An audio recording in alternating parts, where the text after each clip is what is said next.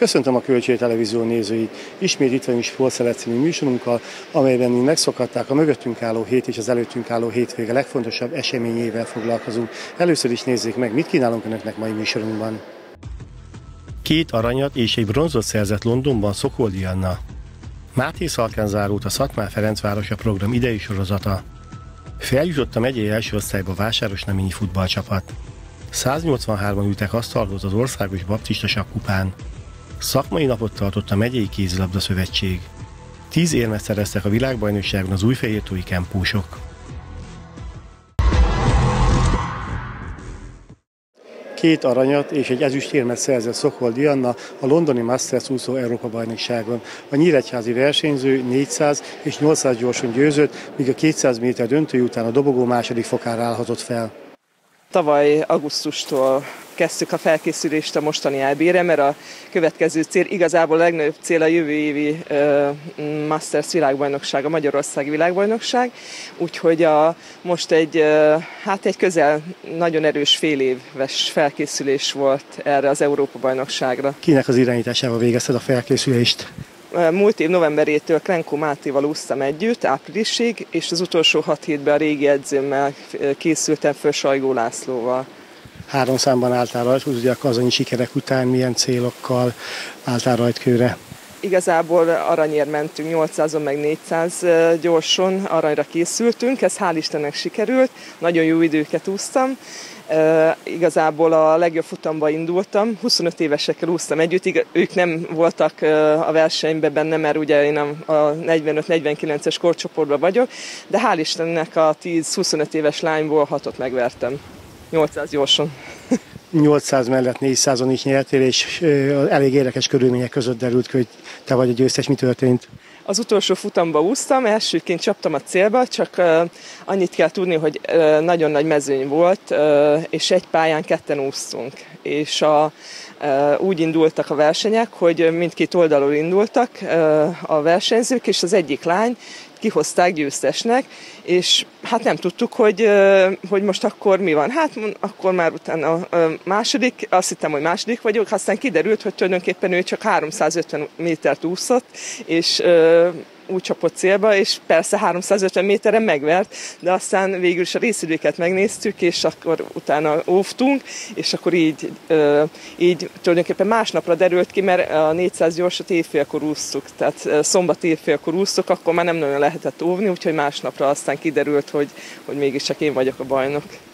200 méterre mi hiányzott az, hogy meg legyen a harmadik aranyérem, és van-e benned emiatt egy pici csalódottság? Hát a 200 méter második helynek nagyon örülök, mert 800 is este hétkor úsztam, az magyar idő szerint 8, hát évfére kerültünk ágyba, és reggel hatkor menni kellett már edzeni, mert nem engedtek be, tehát annyira nagy mezőny volt, hogy csak az adott számra engedtek be úszókat, és nem, tehát hiába volt akkreditációs kártyák, nem mehettünk be, csak, csak akkor, amikor meg volt beszélve. És úgy reggel hatkor el kellett menni edzeni, vagy bemelegíteni, dél, délbe úsztuk a 200-at, ott nem tudtam, hogy milyen, hogy lesz, hogy hanyadik leszek, első, második vagy harmadik, és aztán százon körbenéztem, láttam az első az elő van, még egy fejjel volt a második mellettem, úgyhogy azt egy kicsit megvertem, úgyhogy második lettem. Említetted, hogy a fő cél a jövő évi budapesti Masters 20 világbajnokság, az azt jelenti, hogy akkor most egy jó bő egy éves felkészülés következik? Most egy kis pihenő van, még egy-két versenyre elmegyek, és akkor jövő augusztusban lesz a Masters világbajnok de remélem eljöttök, és, és hát azt gyakorlatilag most szeptemberben már elkezdünk alapozni, és utána utána, tehát az, az most elég hosszú, hosszú verseny lesz. Most hál' Istennek ez májusban befejeződött, úgyhogy majd augusztusban kezdjük el, inkább szeptemberben a felkészülést, egy éves felkészülést. Tíz kategóriában díjazták a legjobbakat Máté Szalkán a Szatmár Ferencváros a program első alkalommal megrendezett évértékelő gáláján. Mint szülőanyja, szülőapja, nem is tudom, hogy hogy mondjam ennek az egész kezdeményezésnek, hát a gyerekem, hogy így mondjam, beteljesedésének, hogy most már nagykorú lett, fantasztikusan boldog vagyok. És én úgy érzem, hogy nem is az én örömöm a fontos, hanem az a pár száz ember, aki itt volt ma ezen a rendezvényen, a gyerekek, edzők, polgármesterek, szülők, meghívott vendégek, vezetők, Én úgy érzem, hogy az ő szemükben emelkedett sokat a rangja ennek a rendezvénynek. Én úgy érzem, hogy amit csinálunk, az viszont nem csak az én véleményem szerint, hanem a szakma véleménye szerint is egyedülálló. Azon túlmenő, hogy határon átnyúló projekt, azon túlmenően, hogy a történelmi szatmár elszakítottságát mi egyesítettük először a sport révén, és mondhatom nyugodtan azt, hogy a kézilabda nálunk csak az apropó. Itt rengeteg civil kezdeményezés van, szülők közötti kapcsolatok, önkormányzatok, és ez nem mese. Ezek már valóság. Ezen túlmenően most szeretnénk már Európai Uniós pályázatokat az önkormányzati kapcsolatokból kihozni, és ki gondolta volna két évvel ezelőtt, hogy kézilabdázni kezdünk el a gyerekekkel, és az edzőket képezni, és most már oda jutottunk, hogy Európai Uniós pályázatokat készítünk elő önkormányzatokkal. Tehát a csillagos ég a plafon, és azt hiszem példaértékű. Mi, ha bárki kéri tőlünk a receptet, bárkinek szívesen odaadjuk, és nagyon szívesen terjesztjük, mint az igét a papok, előbb-utóbb csak jó termőtalajra fog találni. Hány embert érintett, akár játékosok, akár pedig edzői téren? Pontos számokat fogok mondani. Közel 857-8 éves kislány volt ebben az évben, ugye ők már ősztől a 9 a legnagyobb a 9 éves kategóriába kerülnek. Hát a mostan belépő első osztályosokkal már ezer fölé fog menni a gyerekeknek, kislányoknak a száma, akivel foglalkozunk. Ez óriási szám, mert itt végül is csak három generáció lesz, 7-8-9 évesek. Több mint 50, 54 edző, szakedző és testnevelő tanár, akikből szépen lassan edzőt nevelünk, képzik a gyerekeket. 79 csoport van, nem csapat, hanem csoport van, ahol foglalkoznak a gyerekekkel, és most már több mint 30 településen a határ két oldalán. Én úgy érzem, hogy ezek statisztikai számok, de ami mögötte van, az előbb elmondottak értelmében, azt hiszem egy nagyon messzire mutató projekt. A beszédében is nagy hangsúlyt fordított az anyagiakra. Lehet tudni, hogy ez a pályázat miből, milyen támogatásokból és mennyiből valósult meg? Meg kell, hogy mondjam, mi gyakorlatilag semmiből. Eddig egy fillér támogatásunk nem volt, egy fillér szponzori pénzünk nem volt. Gyakorlatilag a saját időnket, energiánkat, pénzünket tettünk be, Hazudok, mert igazából a polgármesteri hivatalok annyiban segítettek, hogy a Fradi leérkező edzőit fogadták az edzőkkel együtt egy-egy munkaebédre, és biztosítottak termet számunkra. Ezen túlmenően megint csak az önkormányzatok adták a gyerekeknek az edzési lehetőséget, és néhány helyen, ahol megvolt erre a lehetőség, valamennyi apanást az edzők részére. Tehát itt kimerültünk, de én azt hiszem, akkor teljesen kimerülünk, hogyha ősztől nem tudjuk feltölteni anyagiakkal a hátterünket, akkor sajnos ki fogunk vérezni. Bízom benne, hogy nem így lesz, mert úgy tűnik, hogy komoly tárgyalásokat kezdtünk meg már szponzorokkal, támogatókkal, meg a Fradi is majd a hónunk alá nyúlt, és aki setes uta, kis Fradi gyereket, majd maga alá vesz, és a nagy családnak mi is a tagjai leszünk. Mit profitál a Ferencváros ebből a rendezvényből? Azt gondolom, hogy számunkra nagyon fontos volt az, hogy ha a Ferencváros az ország legnagyobb csapata, és ez egy nemzeti ügy, akkor mi is próbáljunk visszaadni az országnak valamit, és úgy szolgálni egy nemzeti ügyet, hogy az, az nem csak országon belül, hanem határon át is átnyúló. Mindenképpen keresni akartunk egy olyan lehetőséget, ahol a fiatalokat bekapcsolva egy junior programot indítunk el. Azt gondolom, hogy erre Szatmár kiválóan alkalmas, hiszen mind a magyar részen, mind a román részen nagyon nagy kultúrája van a kézilabdának. Ez volt az oka, hogy a Szatmára esett a választás, és így indítottuk el ezt a programot számunkra. Ez egy nagyon nagy lehetőség. Túl vagyunk az első két éven, Innen azt gondolom, hogy egy nagyobb sebességre lehet kapcsolni, hiszen e, az első két év bizonyította, hogy, hogy ez egy életképes e, projekt, próbálkozás. Minden kezdet nehéz egy gyermek életében, egy vállalkozás, egy ilyen e, projekt esetében is. Azt gondolom, hogy már mindenki láthatja, hogy ez egy életképes projekt, és ezt szeretnénk továbbvinni, még magasabb szintre vinni, hiszen most ké, szivacs kézilabda az első rész, de utána természetesen ezek a gyerekek nőni fognak, és áttérnek majd a normál kézilabdára, és akkor azt gondolom, hogy, hogy mind az edzőknek, mind nekünk, mind a gyerekeknek, szülőknek, és itt várjuk természetesen a, a helyieknek, a polgármesteruraknak a segítségét, hogy olyan körülmények között tovább tudják ezt a programot vinni, amelyben ezek a gyerekek kiteljesedhetnek. Mit jelent Máté Szalkának ez a program? Máté Szakának ez egy nagyon fontos program a mai napon, hiszen azért örülök nagyon egy újabb civil kezdeményezésre, életre hívott rendezvényen vagyunk, ahol ugye a Máté Szalkai MTK szervezésében a Ferencváros női kézilabda szakosztályának vezetőinek jelenlétében gyakorlatilag egy olyan ünnepségen vagyunk, ahol a kitüntetéseket adunk át a női kézilabdában sokat letett, sokat elért személyek részére, és ráadásul, ami nagyon-nagyon fontos, ugye komoly sportolókkal is találkozhatnak azok a kis emberpalánták, akik eh, Máté Szakán ezt a gyönyörű sportágat, a női kézilabdát űzik. És azért nem utolsó szempont az sem, hogy a Máté Szakai női kézilabda szépen bizonyít, hiszen most is az MB2 eh, eh, egyik csoportjában nagyon előkelő helyezésen, nagyon előkelő helyezést érnek, értek el.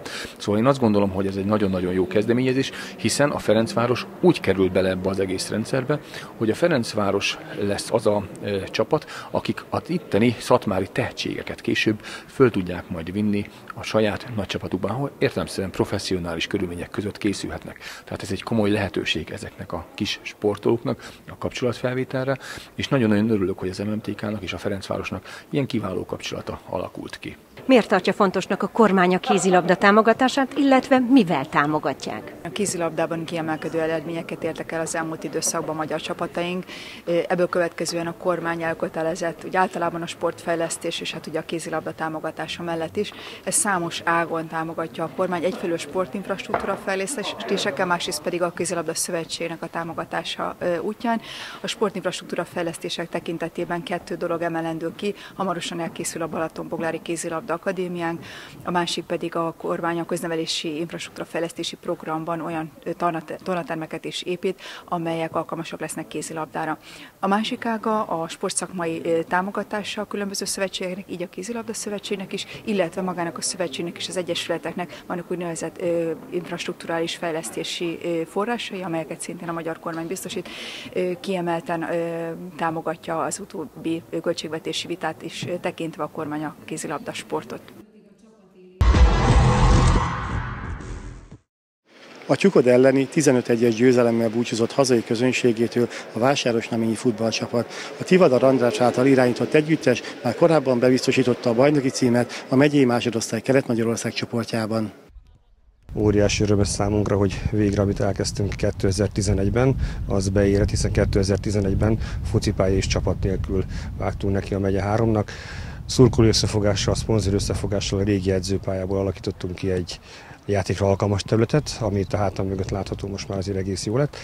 Majd az első esztendőben sikerült a megye 3-ból azonnal fölkerülni a megye 2-be. A célkitűzés az volt, hogy 2011-től 4-5 éven belül kerüljünk föl a megye másodosztályába és onnan pedig legkésőbb a megye egybe az ötödik év végére. Nos, ezt teljesítettük, nem volt ez egyszerű feladat, hiszen bajnokságot nyerni mindig nehéz. Gyakorlatilag az a 16 csapat, amelyik elkezdi a szezon, mindegyik nyerni akar. Egy város csapatnak még nehezebb, láthattuk ezt tavaly a Máté Szalka példáján, saját példákon, Gyulaháza példáján, tehát a városi csapatokat mindig külön kezelik a többiek, hiszen mindenki a városi csapat ellen kívánja megmutatni, így volt az idén is, de azt hiszem, hogy egy korrekt küzdelemben a fair szellemét előttünk tartva és folyamatosan ügyelve arra, hogy ne okozzunk sérülést más csapatok játékosainak, hanem gólokban mutatkozik meg az erőnk. Ezt megtette a csapat, és öröm, hogy a, az elnökség, a szponzorok munkája, az edzők munkájának koronázásaképpen a csapat pedig oda tette magát, és megnyertük a bajnokságot egy alacsonyabb osztály csapatnál mindig kérdés, hogy helyi játékosok alkossák a keretet, vagy pedig igazoljanak szomszéd településekről azzal a célral, hogy erősebb legyen a csapat. Itt mi a helyzet? Nagyon jó a kérdés. 2004-ben Eh, amikor még iskolaigazgató voltam, de akkor is közel állt hozzám a sport, és az MB3-as csapat darabjegyre hullott szét, ekkor szűnt meg Város, amiben a központi városrészen a, a foci. Azért mondom, hogy a központi városrészen, mert Vitkában és Gergely Ugornyán Tiszamentése még mindig ugye üzemel, az MB, vagy a megye kettőben és a megye háromban. Ugyanakkor itt a város központi részén megszűnt a csapat, viszont eh, ezekből a romokból Honyak Mihály, Mándi Zoltán barátom ötletéből együtt hárman kitaláltunk valamit, és az akkori polgármester Jutner Csaba nyitott volt. Létrehoztunk egy diásport Egyesületet. Ebből kifolyólag mi a helyiekre építettünk első perctől, és a 6-14 éves korosztálynak megvolt a helye a Vásárosnaményi foci palettáján. Ha most szétnézünk itt edzésen vagy a mérkőzéseinken, akkor láthatjuk, hogy azok a fiúk, akik a DSE-ben nevelődtek, most itt vannak a csapatban. Nálunk egyetlen játékos van, aki, aki kárpátaljai fiú, Barta Feri, a többiek mind helyiek, vagy namény 5-10 km körzetéből származnak és itt születtek. Magasabb osztály, magasabb kihívás, ugye erősebbek az ellenfelek, magasabbak a költségek, készen áll-e minden a megyei osztályra? Fölkészültünk erre, a város költségvetéséből idén már egy magasabb összeget sikerült a testülettel elfogadtatni, a testület ezen abszolút nem gondolkodott. Városi szinten összességében mondom a sportra és a civil szervezetek támogatására, a nyugdíjas klubok támogatására, a tűzoltóságra 10 millió forintunk van, ebből 2,5 millió forintot kap a, a most már megyei első osztályú csapat. Ezen kívül nagyon fontos megemlítenem a szponzori támogatást. Másodosztályban nagyon szeretik a focit, hogyha megnézzük a jegyzőkönyveket, rendre a megyei másodosztályban e, itt voltak a legtöbben ezeken a meccseken, sőt idegenben megmondom őszintén már volt, ahol vártak bennünket a, a bevételek miatt. 70-80 száznaményi rendszeresen ott van, akár idegenben, akár itthon, itthon pedig még annál is többen, és a, a szponzorokat említve a TAUS pénzt is mindenképpen felhasználjuk a pályán korszerűsítésére, illetve mm, a szponzorok sem aggódnak attól, hogy megy első osztályba kerültünk. Van, aki egy-egy vacsorával, van, aki néhány rekesz sörrel, van, aki pedig úgy gondolja, hogy anyagi támogatással is segíti ezt a segítségre méltó csapatot. Az árófordulót már bajnokként várhatja, sőt korábban bebiztosította az elsőségét a Vásáros Teményi futballcsapat. Nehezebb volt ez az aranyére, mint ahogy a bajnokság elején elképzelték? Össze nem volt az a, az a terv a fiúkon, nem volt az a konkrét cél, hogy nyerni kell a bajnokságot. Játszunk egy jó meccseket, minden meccset úgy készül, hogy nyerni szeretnénk, úgy is sikerült össze, csak egyszer kaptunk itt lyukadon, meg egyszer x nyírmegyesen, de most a téren, mikor már három ponton vezettünk, és úgy kezdtünk a tavaszi szezon, akkor egyértelmű volt a cél, hogy nyerni kell, és ez a nyomás alatt a fiúk minden meccset fotbaloztak, úgyhogy minden edzésen az volt a fejükben nyerni, nyerni, nyerni, és akkor mm, nagyon megszabad, felszabadultak, mikor már a három hét már bajnokok vagyunk, miután amikor nyertünk, akkor már már, már felszabadultan játszottak, és nem volt már teher. Látott, látott rajzol el az útok a társaságban. Mivel nőtt a mezőny fölé a csapat? Hát szerintem csapatjátékkal.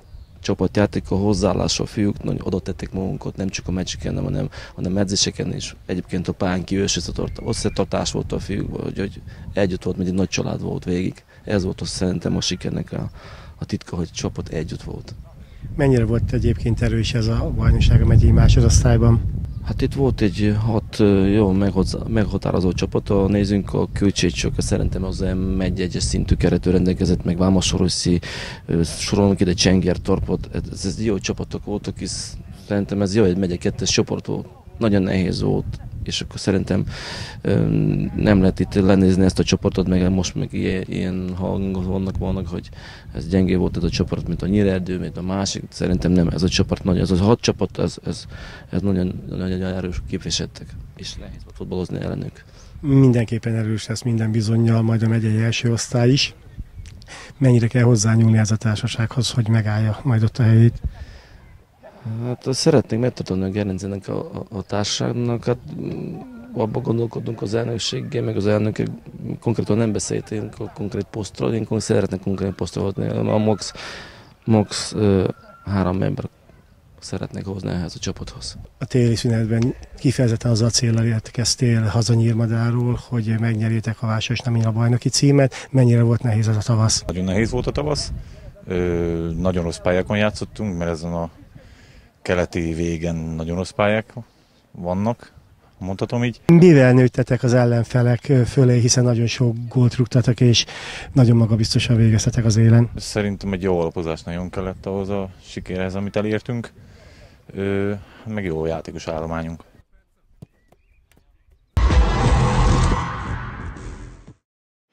Negyedik alkalommal rendezték meg Nagyhalázban az országos baptista sakkupát, amelyen 22 intézmény több mint 180 versenyzője jut asztalhoz.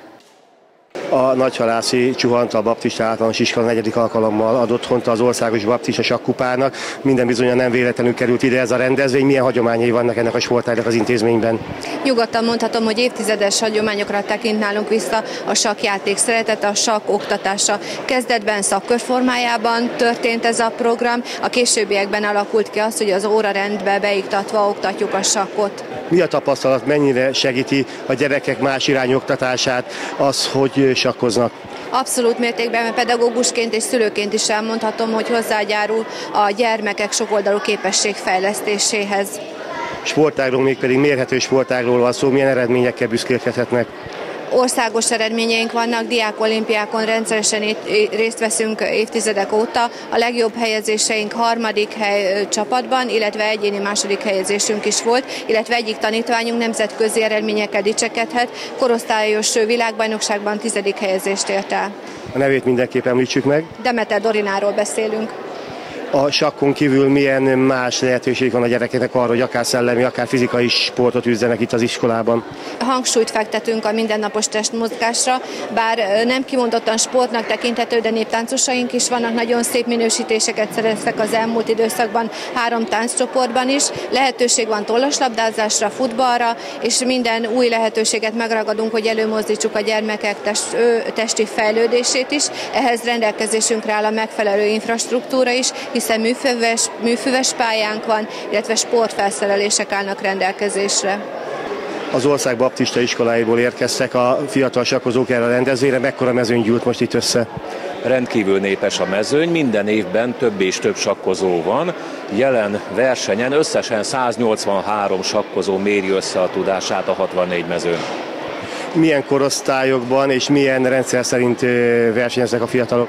Korcsoportokba van osztva a mezőny, 8-10 évesek, 10-12 évesek, 14-16 évesek és a 16-20 évesek között játszanak a fiatalok, és van az időseknek is, az edzőknek, kísérőknek is egy felnőtt rendezvény, senior korcsoport néven.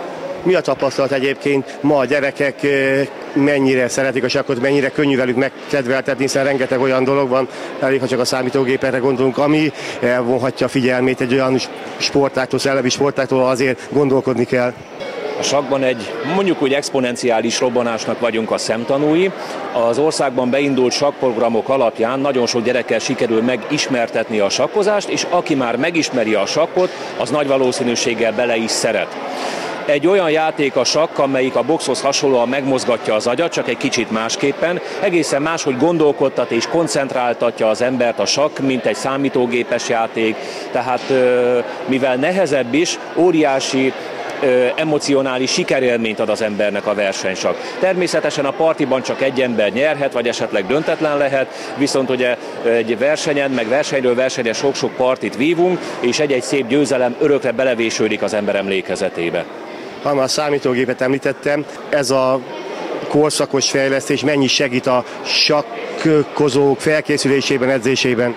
Átalakul a sakk, míg korábban csak a legjobb nagymesterek tudták hosszas elemzés után megmondani egy állásról, hogy az jó vagy nem jó. Manapság ez már nagyon könnyen tisztázható a legerősebb sakprogramokkal, viszont hátulütője is van. Nagyon sok fiatal sakkozó esik abban a bűnbe, hogy nem használja a saját agyát, hanem vakon megy a számítógép javaslata után. A számítógép javaslata utóbb megdőlhet, átértékelődhet egy-egy állás, másrészt pedig az emberi tényező mindig is irányadó a sakban. Lehet, hogy objektív egy lépés, amit a számítógép javasol, az jobb, de a sakkozónak a saját ötlete, a saját stílusához illő témaválasztás, változatválasztás az sokkal fontosabb lehet, mint az objektíve legerősebb lépés.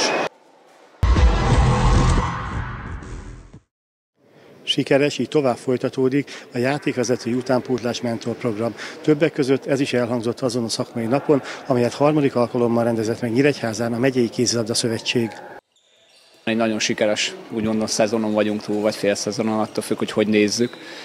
És valóban ez a szakmai nap, ez egy olyan hagyomány már, amelyet mindenképpen szeretünk volna idén is megtartani, és ugye összekötve a Szabolcs kupával, amely egy nagyon sikeres és egy nagyon, hogy mondjam, népszerű utánpótlás torna, amelynek a legfőbb erénye az, hogy valóban az összes tagszervezetünk érintett volt ebben, és minden gyerek, közel ezer gyerek vett részt a hat helyszínen a megyében, lényeg tehát az egy megyét bejártuk vele, és minden gyerek úgy távozhatott a Szabolcs kupáról, hogy sikerén élménye, hiszen mindenki aranyérmet kapott a nyakába, ami azt hiszem, hogy egy nagyon fontos ebbe a ebben az utánpótlás tornában, hogy itt mindenki érezheti azt, hogy ennek a kézilabda társadalomnak a szerves része, és azt hiszem, hogy ez a fejlődésük, az egyéni fejlődésük szempontjából is nagyon fontos. És valóban a szakmai nap volt a döntők napján az, amely lezárta lényegében ezt a programot. A szakmai napon két vonalon futottunk, elsősorban.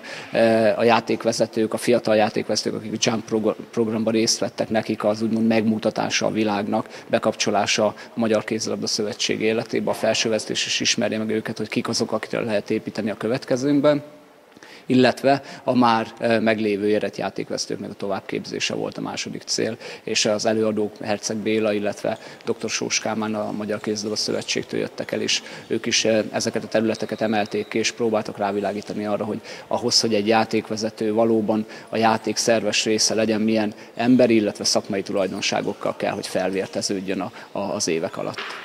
A program sikere azt jelenti, hogy folytatják a fiatal játékvezető képzését? Igen, mindenképpen szeretnénk. E, ez elengedhetetlen, legalábbis mi úgy gondoljuk, hiszen valóban azt akarjuk, hogy e, népszerű, illetve élvezetes, és valóban, valóban e, a csapatok számára is kiemelkedő színvonalú játék, vagy mérkőzések legyenek, ahhoz elengedhetetlen idézőjelesen résztvevők, vagy kellékek a játékvezetők, és nekik a szakmai felkészültség az valóban olyan kell, hogy legyen, hogy ez ne szenve, emiatt ne szenvedjenek kárt a résztvevő csapatok.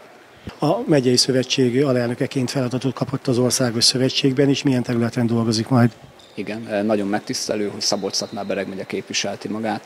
A Magyar Kézilabda Szövetség május 20-án megtartott éves közgyűlésén beválasztottak a MKS-nek a felügyelőbizottságába, és bízom benne, hogy sikerül majd olyan színvonalon, olyan szakmai, illetve emberi színvonalon képviselnem szabolcs szatmár bereg megyét, illetve a kézlabda életet, hogy abban ne legyen semmilyen hiba a játékosok számára, a csapatok számára pihenő következik, gondolom a szövetségben azért folyik a munka. Melyek a legfontosabb teendők a következő bajnokság kezdetéig elindításáig? Valóban készülünk a következő bajnokságra, azokat a, a legfontosabb célunk természetesen az, hogy a tagszervezetek számára a bajnokságokat olyan színvonalon, illetve ha lehet, akkor magasabb színvonalon bonyolítsuk le, mint az előzőekben. Úgyhogy ez mindenképpen egy alaptétel, és emellett természetesen szeretnénk megvalósítani azokat a programokat, amelyekre már, amelyekre már büszkék lehetünk, joggal lehetünk büszkék. Itt természetesen kiemelném a Szabolcs kupát, illetve a szakmai napot és az ehhez kapcsolódó képzéseket, mint például a Jump programot. Az elmúlt évekhez hasonlóan továbbra is nagyszerűen szerepelnek az újfehértói kempusok, akik ismét érmekkel tértek haza a világbajnokságról. Nagyon jól szerepeltünk, itt újfehértóról négy versenyző jutott ki, persze előtte ö, rostán estek át, tehát többet delegáltunk a, vagy a válogatottba, de csak ennyit válogattak be. A magyar válogatott 31 fős kerettel ment ki Bukarestbe, és a 16 év alattiak világkupa versenye, 16 év felett világbajnokságnak nevezik ezt a versenyt. A 16 év alattiakat megnyerte Magyarország, a 16 év felettében pedig második lett Magyarország. Tehát ja is a oroszlák barangában voltunk Bukarestben, mert ugye a Kempo Világszövetség elnöke román, a legtöbb nemzetközi bíró román, és ugye Romániában voltunk versenyezni, tehát ez nagyon nagy eredmény ahhoz, hogy a 16 év alatt elsők lettünk, 16 év felett pedig másodikok lettünk. Hogyan szerepeltek az újfehértói fiúk? Nagyon szépen szerepeltek. Négyen mentek ki, mind a négy nyert egy aranyérmet. Azon kívül négy arany, hiszem három ezüst, három bronzérmet nyertünk a újférdiak, és Lovas László Pászládám a felnőttek között önvédelembe világbajnok lett. A két fiatal, a Szabó Tibor Benedek meg a Kis Krisztián, ők Kis Krisztián Submissionbe, az egy birkózó szám, abból lett aranyérmes, a Szabó Tibor Benedek pedig egy szemikempo, az egy ilyen box egy hasonló, ahhoz abban lett világbajnok. Az elmúlt hétvégén Budapesten volt egy jelentős hazai verseny. Ott hogyan szerepelt a Fehértói csapat? Ez egy debitáló verseny volt. Most először rendezték meg Budapesten, ez az Sportfesten belül egy ilyen Kempo Grand Prix verseny volt, pénzdíjas. Oda nyolcan mentünk el innen Újfehértóról. Nagyon szépen szerepeltek a gyerekek. Hét arany, hat ezüst, három bronzérmet szereztünk. Ezzel csapat másodikok lettünk a Cseppeli Pitbullok mögött. Az év hátralévő részén mondja gyakorlatilag az év felénél tartunk, milyen versenyek várnak még rátok? Lesz egy Jiu-Jitsu Európa bajnokság Lengyelországban, ami ott szeretnénk lenni, három-négy fél új féltóról, magyar válogatottban reméljük bekerülnek. Azon felül meg lesznek magyar bajnokságok, egy ugye itt lesz új féltón, október 8-án, az Izsómi emlékverseny, most már a második, és Pesten lesz még egy magyar bajnokság negyedik fordulója, és utána évzáró buli. Reméljük, hogy jól fogjuk zárni az évet. Ennyi fért a sportszeletbe találkozunk egy hét múlva. Köszönöm a figyelmüket a viszontlátásra.